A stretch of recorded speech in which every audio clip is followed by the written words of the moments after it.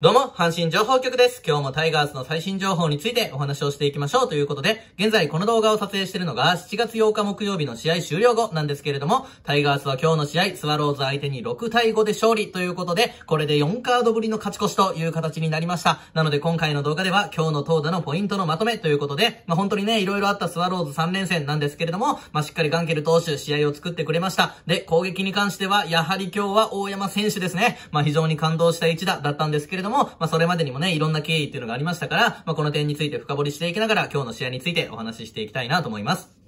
ということで、早速お話をしていきますけれども、まあ、今日の試合勝ったっていうのは非常に大きいですよね。まあ、明日からジャイアンツ3連戦ということでね、まあ、しっかり弾みをつけるようなカードの勝ち越しになりましたし、まあ、先ほどもお話をしましたが、このスワローズ3連戦はいろいろとね、ありましたから、まあ、昨日の試合もね、いろいろタイガースいいプレー出て負けるっていうちょっと悔しい展開の中で、まあ、今日を迎えてしっかりね、勝つことができたっていうのは、まあ、今後に向けても大きい一勝になったかなと思うんですけれども、まず投手陣見ていきますけれども、まずは先発のガンケル投手ですね。ガンケル投手に関しては、6回92球で、被安打6本、奪った三振が3つで、与えたフォアボールが1つで3失点ということで、まあ、4回にね、こう、連打、まあ、3連続でね、え、ツーベースを打たれて、まあ、同点追いつかれて、まあ、逆転も許してっていう展開だったんですけれども、まあ、そこからはね、しっかりとガンケル投手らしいピッチングということで、まあ、コメントを出しているわけなんですが、4イニング目はピンチでクリーンアップだったから、低めに投げないといけない場面だったけど、ボールが浮いてしまって打たれたことが悔やまれるね。チームが2点を取ってくれているし、まだ1点差だから逆転できるようにしっかり応援するよっていうね。まあ、これはガンケル投手が降りた後のコメントだったんですけれども、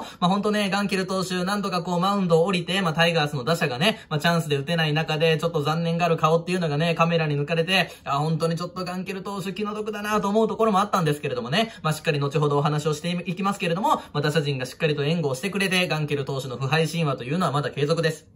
まあ本当にね、えー、ガンケル投手に関してはずっと試合を作ってくれてね、まあこういうちょっと崩れかけたかなと思っても、まあ強力のないスワローズ打線相手に、まあ6回3失点しっかりと QS でまとめてくれるわけですから、やはり今シーズンの安定感はさすがだなというところですね。で、中継ぎ陣に関しては、馬場投手、岩崎投手、スワレス投手っていうね、リレーだったんですけれども、まあ7回ぐらいからですかね、まあかなり雨が強くなってきて、で、岩崎投手がね、山本選手のエラーもあって、ツーランホームラン打たれてね、まあちょっと不安が残る展開ではあるんですけれども、まあ最後スワレス投手を出して、まそのスワレス投手もね、えピンチ招きましたけれども、まあ、最後のギアチェンジはさすがかなと。やっぱりこの岩崎投手、スワレス投手っていうのは、まあ、これね、残り6連戦あるわけなんですけれども、まあ、こういう僅差の場面であれば、やっぱり昨日のこともありますから、ある程度こう登板というのは多くなってくると思うんですね。で、きっとスワレス投手とかに関しても、まあ、今日雨でしたからね、まあ、そういうところでの力配分っていうのもありましたが、ランナーいない時は150キロ前後だったんですが、まあ、最後の塩見選手に対しては158キロ出してましたから、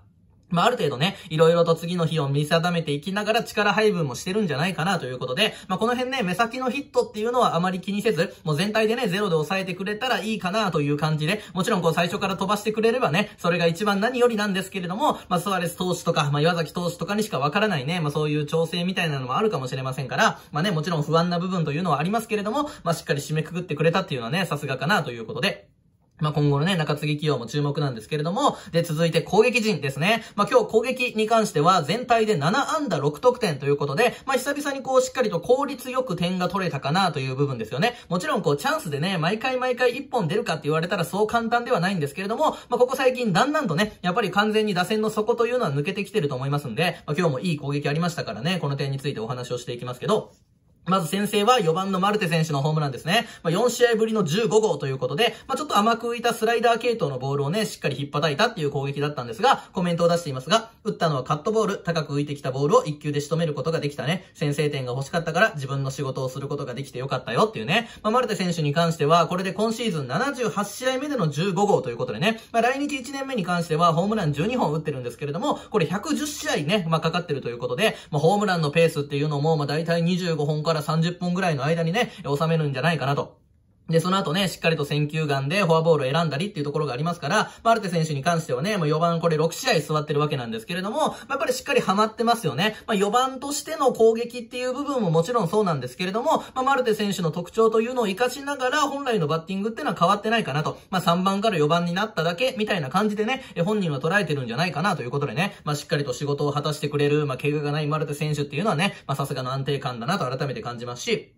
で、2点目に関しては糸原選手ね。まあ、糸原選手に関しては久々のヒットということで、まあ、タイムリーヒットが14打席ぶりの安打だったんですね。で、スワレス投手に対してかなりね、まあ、相性がいいということでも、まあ、有名なんですが、まあ、コメントを出していますが、打ったのはツーシーム追い込まれていましたが、甘く入ってきたボールをしっかりと捉えることができました。追加点を取ることができてよかったですっていうね。まあ、今日のスワレス投手に関してはね、まあ、かなり球切れてましたからね、155、5、6出ていて、まあ、かなり速いボールを左中間バーンとね、もうレフト線バーンと破るバッティングっていうのがありましたから、まあ、糸原選手、やっぱりね、ちょっとっと守備のところが、まあ、ちょっと言われがちな選手ではあってね、まあ、僕もちょっと守備は気になったりするんですけれども、まあ、それでもね、久々のヒットではありますが、2番に上がってきて、まあ、そういう最低限の仕事であったりね、まあ、内野ゴロであったりだとか、まあ、新塁打であったり、まあそういうところをしっかりしてくれながらね、まあヒットっていうのもちょくちょく出てますから、まあ2番に上がってからこの糸原選手らしさっていうのは増してるんじゃないかなと思いますね。まあ中野選手の状態も上がってますが、今のね、タイガースの打線の流れっていうのを考えていくと、まあ2番セカンド糸原選手っていうのは外せないのかなと。もちろんこう守備で言うとね、もっともっとこう上手な選手っていうのは、まあ下の選手、小畑選手とかもいますけれども、まあそれでもやっぱり総合力でね、まあちょっと守備でね、痛い部分というのも多少ありますけれども、まあ攻撃を考えると外せない選手なんじゃないかなということで、まあ今のところはね、この打順でいいんじゃないかなと思います。で、そこからね、まあ、チャンス作るんですけれども、なかなか一本が出ない中でね、迎えた8回、まあ、青木選手のエラーから始まっていった攻撃だったんですけれどもね、まずは同点が梅野選手ということで、まあ、梅野選手はね、ずっとガンケル投手のボール受けてきてますから、まあ、無敗神話もね、継続してるっていうのはもちろん分かってるでしょうしね、えー、そういったなんとかしたいという気持ちの中でね、えー、村上選手のグラブを弾く打球でね、えー、しっかりとタイムリーヒットを打ってくれました。まあ、そこはもう梅野選手の勝負強さですよね。まあ、その前の佐藤選手が、まあ、ちょっと簡単にね、フライを上げてしまう形で、で、僕はもうこれね、今シーズン一貫して持ちたい思いとして、もうこの1年目はね、もう佐藤選手あの高めのボールを振るのはもう仕方がないかなと、もちろんね、まあシーズン通して振らなくなってくれてね、あそこが見れて、まあ最低限犠牲フライをね、まあ、打ってくれるようなことがあれば理想ですけれども、まあなかなかああいうところで最低限っていうところはね、まあちょっと佐藤選手には求めれていない現状があるんで、まあ、チームを勝たすバッティングをね、矢野監督は求めているわけなんですが、もうそこはね、やっぱりこう、その後を打つ先輩が尻拭いをしてあげるということで、もう開幕序盤はずっとね、この佐藤選手、梅野選手っていう並びの中で、しっかり梅野選手が活躍してくれてましたからね、まあ、ああいった形で一本出たっていうのは大きいでしょうし、で、今日のヒーローは間違いなく大山選手ですね。値千金の10号勝ち越しスリーランということで、まあ、右方向もう入った瞬間、まあ、打った瞬間入るかなと思ってね、僕もバーッと声荒げましたけれども、まあ、清水投手もね、やっぱりこう、雨っていうところでしたから、あんまり休息出てなかったんですけれどもね、まあ、これで7番降格後3試合で2発ということで、まあ、1塁回った時ね、右拳ガーッと上げてましたけれども、まあ、大山選手の中で色々と思うことっていうのは、間違いなくあると思うんですよね。まあ、打順が7番っていうところもそうですし、まあ、なかなかね、こう、状態が上がりきらないっていう部分もあるんですけれども、まあ、今日ね、この大事なところ、しかも最終打席でスリーランが出て、まあ、ジャイアンツ戦迎えていくっていう流れの中でね、まあ、すぐに打順が上がるかって言われたら微妙なんですけれども、まあ、今ね、5番佐藤選手が打ってますが、まあ、こういうところはね、やっぱり佐藤選手は6番とかで、まあ、自由に打ってもらう方が一番ベストだとは思うんですよね。まあ、ここが僕自身もね、ちょっとお話をしていた、まあ、4番大山選手と4番佐藤選手の違いというかね、まあ、もちろん大山選手が状態を上げてきてくれれば、また4番に座るっていうのは理想論だと思うんですけど、まあ今はね、すぐに上がるっていうことはないと思いますが、こういう最低限の部分とか、まあそういうことを考えていくと、大山選手はできるだけね、やっぱり打順上の方を打ってくれる方がチームとしては助かりますから、で、佐藤選手には6番ないし7番ぐらいでもう振り回してもらうっていうのがね、まあ一番の理想形になってくると思うんで、まあそういった意味で考えていくと、この大山選手のホームランというのはね、非常に価値がある一発でしたし、まあ個人的にはすごく感動しましたね。まあここから状態上げていってほしいなというところですけど、まあ明日からね、ジャイアンツ3連戦になりますが、タイガースはちょっとローテーションをいじってきました。というのも、今日ね、本来であれば中3日で秋山投手が行くんじゃないかって言われてたんですけれども、中4日で明日のジャイアンツ戦に先発登板するという形になりました。まあ、戸郷投手との投げ合いになるわけなんですけど、まあ、秋山投手はね、なかなかこう、ジャイアンツに勝てないと苦手としている相手の中で、秋山投手、伊藤投手、そして11日に関しては西勇輝投手で行くよっていうことをね、まあ、決まってますんで、まあ、ローテをちょっといじってきたという流れになるわけですね。まあ、西投手はジャイアンツ戦3戦3勝ですからね。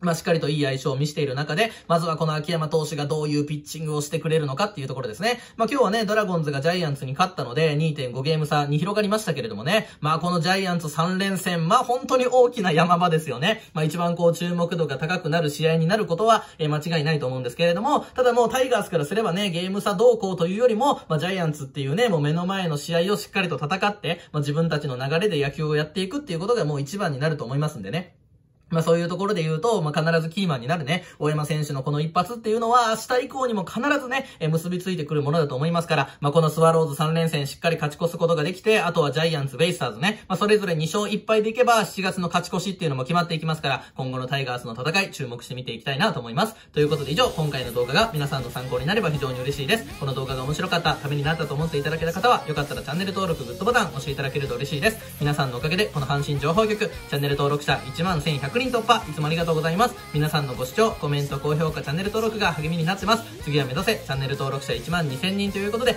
今後とも阪神情報局、何卒よろしくお願いいたします。ではまた次の動画でお会いいたしましょう。毎日、トラホーありがとうございました大山選手の勝ち越しスリーラン、本当に感動しました。明日からも大山選手のバットに期待したいところです。ではまた